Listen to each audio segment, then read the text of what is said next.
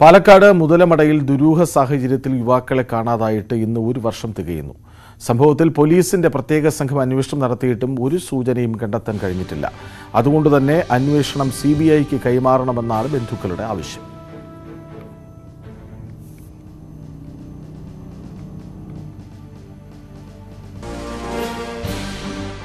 രണ്ടായിരത്തി ഇരുപത്തിയൊന്ന് ആഗസ്റ്റ് മുപ്പതിന് വൈകിട്ട് കാണാതായതാണ് മുതലമട ചപ്പക്കാട് കോളനിയിലെ മുരുകേശനെയും സ്റ്റീഫനെയും.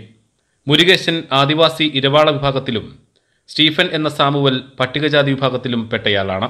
ഒരു വർഷത്തിനുള്ളിൽ വിവിധ രോഗങ്ങൾ ബാധിച്ച് സ്റ്റീഫന്റെ അമ്മയും അച്ഛനും സഹോദരനും മരിച്ചു. മുരുകേശന്റെ കുഞ്ഞിന് ഒന്നര വയസ്സായി.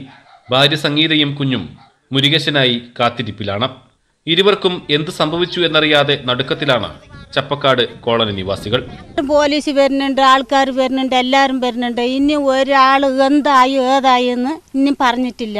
അതാ ഞങ്ങൾക്ക്. എങ്ങനെങ്കിലും ചത്തുപോയോ? ഇല്ല ജീവനോട് കൂടെ ഉണ്ടോ? അതാ ഞങ്ങൾക്ക് അറിയിക്കണം. കുട്ടീനെ പോയി ഒരു കൊല്ലം ആയി സാറേ. ഒന്നാ ഒരു ജീവത്തോടെ ഇരിക്കണോ ഇല്ലയോ? അതറിയില്ല എല്ലാവരും വരുന്നുണ്ട് ഞങ്ങൾ കേൾക്കുന്നുണ്ട്. കുട്ടിയിലുണ്ടോ ഇല്ലെന്ന് ഞങ്ങൾക്ക് അത് അറിയില്ല സാറേ. കേസ് ജില്ലാ ക്രൈംബ്രാഞ്ചിന് കൈമാറിയെങ്കിലും ഇരുവരെക്കുറിച്ചും ഒരു സൂചനയും ലഭിച്ചിട്ടില്ല. ഇതിനിടെ മുതലമടയിലെ വനപ്രദേശത്തു നിന്നും ഒരു തലയോട്ടി കണ്ടെത്തിയെങ്കിലും ഡി എൻ എ ഫലം ലഭിക്കാത്തതിനാൽ ആരുടേതാണെന്ന് സ്ഥിരീകരിക്കാനായിട്ടില്ല. അതുകൊണ്ട് തന്നെ കേസ് സി ബി ഐക്ക് കൈമാറണമെന്നാണ് ബന്ധുക്കളുടെയും നാട്ടുകാരുടെയും ആവശ്യം. മുരുകേശന്റെ ഭാര്യ ഒരു കൊല്ലമായി കൊച്ചു മൂന്ന് മാസം കൊച്ചായി ഇരിക്കുമ്പോൾ ഈ കുട്ടി കാണാണ്ട് പോയതാണ്. പിന്നെ അവർക്ക് ഒരു ധനസഹായം കിട്ടാൻ ഒരു മെമ്പറിന്റെ രീതിക്ക് ഇടപെടാൻ ഒരു സഹായം കിട്ട കിട്ടണില്ല.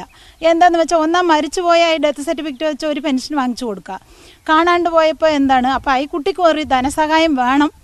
അതും ഗവൺമെന്റ് ഇടപെട്ടിട്ട് ഈ കുട്ടിക്ക് ഒരു എമൗണ്ടോ എന്തെങ്കിലും ഒരു കുട്ടീനെ വളർത്താൻ ഒരു ഒരു പാൽ വാങ്ങിക്കാൻ പോലും ഈ കുട്ടീന്റെ അടുത്ത് പൈസയില്ല.